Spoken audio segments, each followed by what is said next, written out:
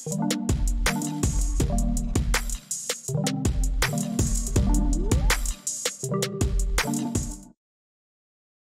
guys, my name is Rima and wishing you everyone a Ramadan Kareem. So for today's video, I have decided to teach you guys how to create a special greeting card for your loved ones for this Eid using the app called Procreate. If you haven't used Procreate before, so let me talk a little bit more about Procreate. Procreate is a design app which is exclusively made for Apple. So I use my iPad Pro in which I have installed the app. And to draw I use my eye pencil if you can see let me put this in focus. This is the eye pencil I use. So let's begin the tutorial. Now before I begin this tutorial please feel free to follow me on my Instagram account I'll be mentioning it on the screen so you can follow me there and you can see more of my videos and you can also see the artwork which I produce so let's begin my Procreate app. I have clicked on it. Now, before we start, let's choose our canvas. So for this, I have decided to use a rectangular portrait version, that's a portrait version canvas and Create itself gives you a standard canvas size. But for this one specially, we are going to use our customized size. So I'm to put 4500 pixels by 5000 pixels, which will give me a maximum layer of 19. So let's begin. My DPI is also 300. In this tutorial, we are going to show you how to create a paper cut effect so guys, now we are in our Procreate app as you can see. So let's begin the tutorial. If you see on the right topmost corner is where you can pick up the colors and you can create your own customized palette, color palettes. I would suggest you that whenever you start an artwork, do, do have a customized color palette. This will help you to stay in that range of colors. For me, I use this particular color palette if you go through any of my artwork, you'll see that all my artwork is somewhere played around this particular color palette. So I'm gonna give it a background color. It is good to give a dark background color. So I'm gonna give like a dark yellow because that is my absolute favorite color. I have given the background color. You can just take the color, drop it into your canvas and it will fill your entire canvas. Now to start using the paper cut effect, I'm going to use the brush. I'm going to use inking and I'm going to use the studio brush. Now, Procreate has set default brushes which you can use and which is really good to create any sort of artwork in any sort of dimension or spectrum. But for this, I'm going to use Studio Pen, one of my favorite pen. It is really good for creating good outline. Once you create on the pen, Studio Pen.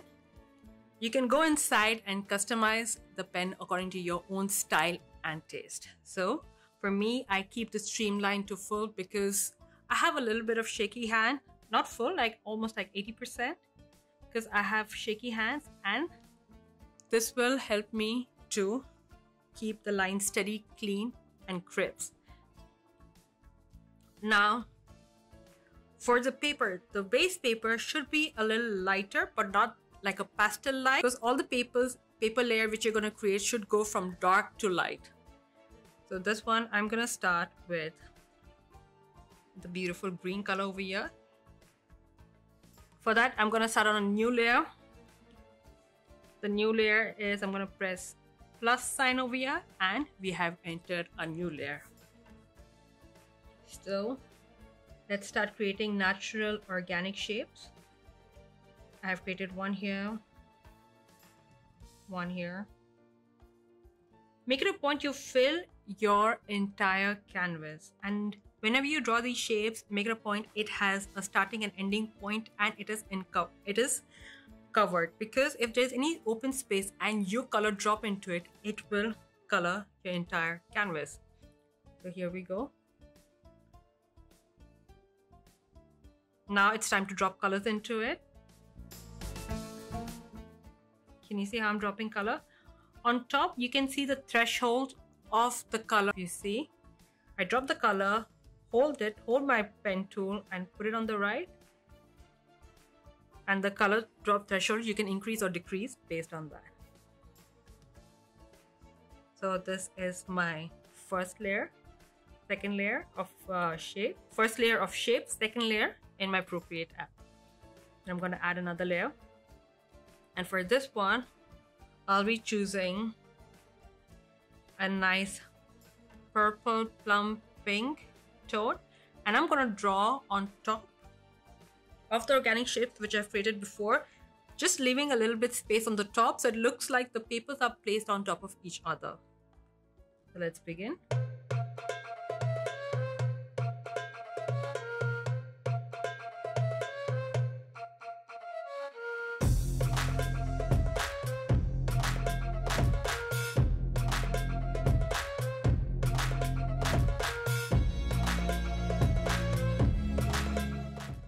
Now we're going to create another layer and we are going to repeat the process in all the using all the colors which you feel to use while creating this greeting card.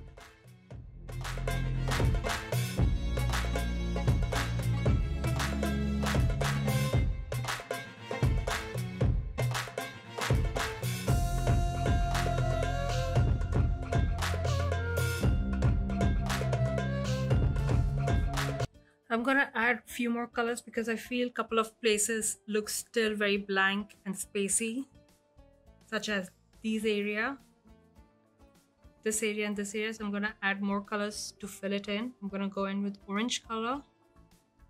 Orange is one of the most prettiest colors. Sorry I forgot to create a layer over here. I think by now you can say that I love colors though in my daily life I don't use that much colors but when I draw and create art I use a lot of bright bold neon colors. So here we go. And the one. Time to drop the color into the shapes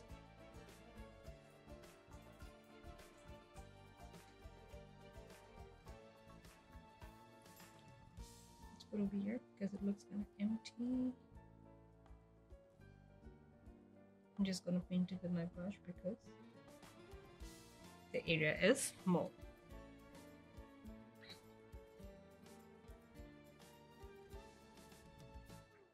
Now we are going to create paper cut effect and for that we need to create depth. We need to show that each paper is laid on top of another paper on the below paper. So it's time to create shadows using the tool called Gaussian Blur. But you just don't go into Gaussian Blur and use it. How are you going to do it? Let me tell you. First, you duplicate your layer. How to duplicate a layer is you swipe towards left you see the three icon over there, the three menu, which is delete, duplicate, and lock. You press duplicate, you click on duplicate, and that's how you duplicate a layer. Now, to create the shadow, so you go to layer, the below layer, you click on it, and on the left side, a menu will pop up. Over here, we are going to click on alpha lock. Now, how would you know your alpha lock is selected? Is that you would see a checkerboard checkerboard pattern on the on, as a background on the thumbnail of the layer. So you can see the checkerboard pattern is here. I have zoomed in my camera for you to show the checkerboard pattern. As you can see over here, the checkerboard pattern that shows that your alpha lock is selected. If you can see, I have selected the alpha lock.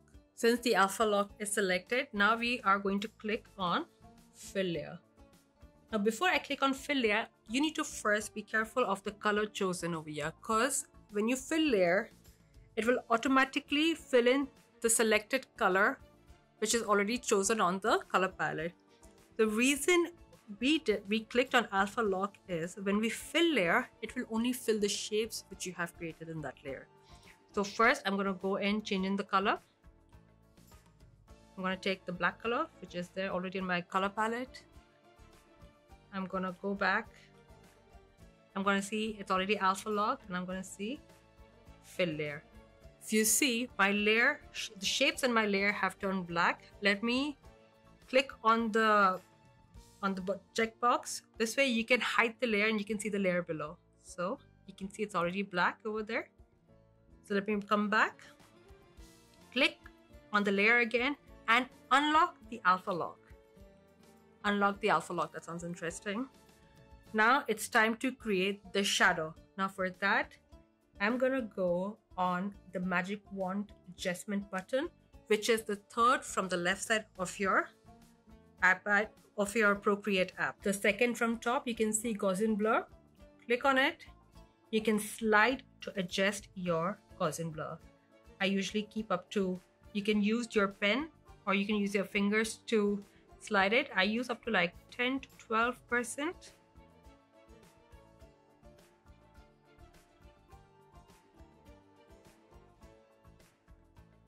And this is how it looks. Can you see the effect which is shown in below. So guys, I have zoomed in the camera and I've zoomed in the layer, the artwork to show you how the shadow effect can be seen. If you can see over here, the shadow has created a light shadow. Now, the reason I have adjusted the Gaussian blur to between 11 to 12% is because to see how much it can spread out the shadow. And I don't want the shadow to be to spread a lot, so I kept between 11 to 12%. Now we have created the shadow effect for the first layer or the first uh, shape which we have created we are going to continue the same for all of them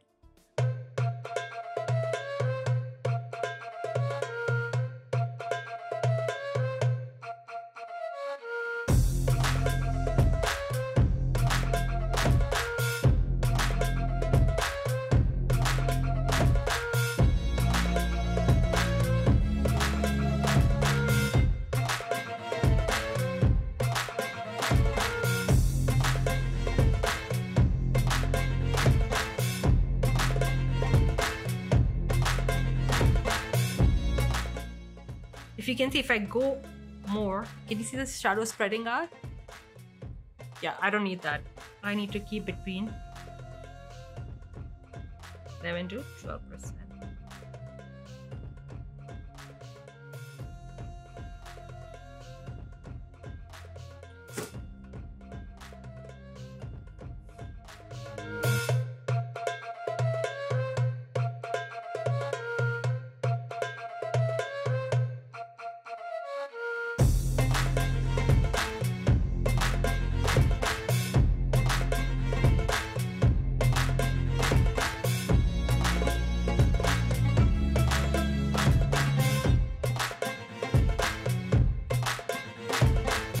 you can see now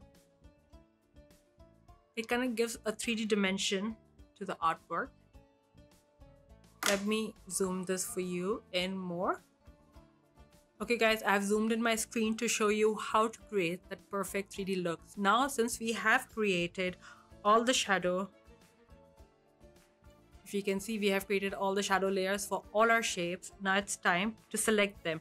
Now to select multiple layers you click on this layer and swipe it to right. This is selected. Then you go to another layer which you want to choose for, for us, which is another shadow layer which we have created and you swipe to right. Let's go and select all of them. Click on the selection button, which left side, the fifth button, which looks like an arrow key. So click on it. So guys, as you can see, I have selected all the layers. Now I'm going to choose the selection tool, which I showed you before is the fifth button from the left side. It looks like an arrow key. So I have clicked on it and on the bottom you can see a set of menu popping up over here. It shows how you want to move it. You can either do it freeform, uniform, distort or warp. So, oops, and reset it. Let me make my canvas small so you can see how it looks like it is selected. I chose my selection tool and I'm gonna press on freeform. Once, if you press uniform, the width and the height of the artwork will move proportionally. So I don't want that. I wanna have a little bit of flexibility of how I'm gonna move it. So I'm gonna first move it towards the left and I'm gonna move it towards up. I don't like this.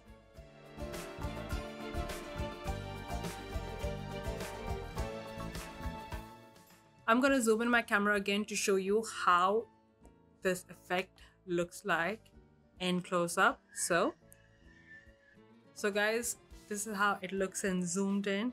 If you can see, it looks beautiful. Now let's go back and add in text Eid Mubarak and finish this e-greeting card. To add in text, I'm gonna click on the layer I'm going to click on the top layer so it deselects everything. I'm going to add in a new layer.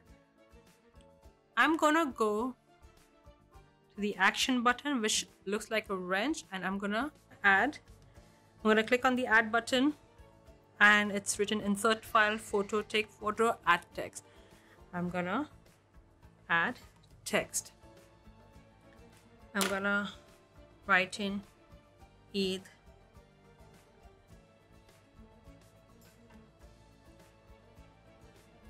Mubarak.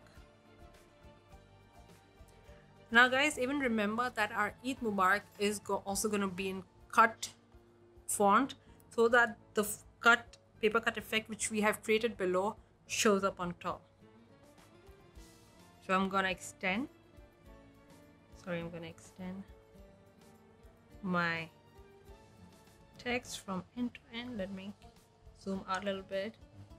The best thing about Procreate app is that you can pinch and pinch out your layer, zoom in, zoom out your layer by just pinching on it. Just like Apple, how you pinch and zoom into a photo. It works exactly the same. I'm gonna double click so it selects everything.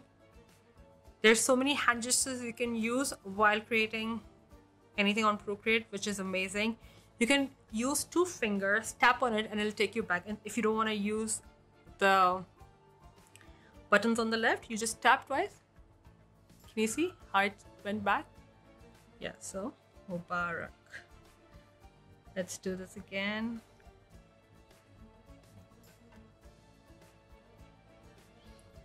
Edit style I'm going to choose the font over here. I'm going to use the font impact because it has a really big size. And it has really thick font. It has a very thick font. Okay that's I think my Mubarak has hit left right. I'm gonna click on my Eid I'm gonna double click and increase the size of the Eid which I think I have already hit I'm gonna bring this up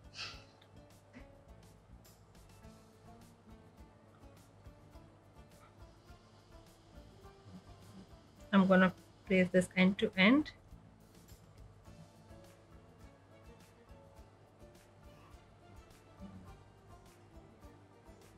Now, what are we gonna cut the Eid font from? We need to create a background from which the Eid font will cut. So let's put the background black. Now, to show what's happening, I'm gonna click on the checkbox to hide the layer so we can know what's happening. We go to Eid, we click on the layer. We first rasterize the text rasterize the text layer. This will convert it into a smart object, smart shapes. You're gonna click on it, press alpha lock, go in. Once you do an alpha lock, it will select the shape which is on the layer. Once we rasterize the layer, the text has already been converted to a shape. So now I'm going to select, which is the second option from the top, I'm gonna go in, go to my background layer which I've clicked, click on the box so we can see the layer, click on it and click on, click on clear. Now I don't know whether you can see it, but since we have cleared it, you can see it on the layer. It has cleared it. So now if I click on it, you can see the Eid Mubarak coming in from the so I've thought putting into I thought of putting in a couple of flowers over here so I'm gonna go to my I have a PD flora stamp which i have bought online. You can buy brushes online any shape or size which you like. Now let's see which one. Oh, I think i only have uh i have fonts so let me take one. Click once. Go to the selection tool. Increase the style of it. Bring it up. Okay let's see where our Eid Mubarak is placed because it shouldn't be this is the best part about selection tool since it's in uniform it will uniformly change. Left right let's make it small. Let's show it over here.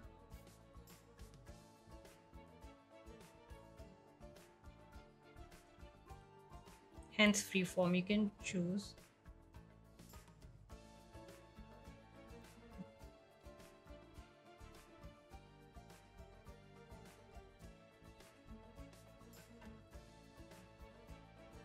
So now you have created the floral stamp which I've added over here. Alpha lock, select, go back to your layer. It's not ticked so the layer is hidden so you click on it, press and click on clear. Now you can't, if you can see it on the layer, it has removed the leaf pattern remove it from here. Remove this and let's see how it looks. Can you see the leaf pattern?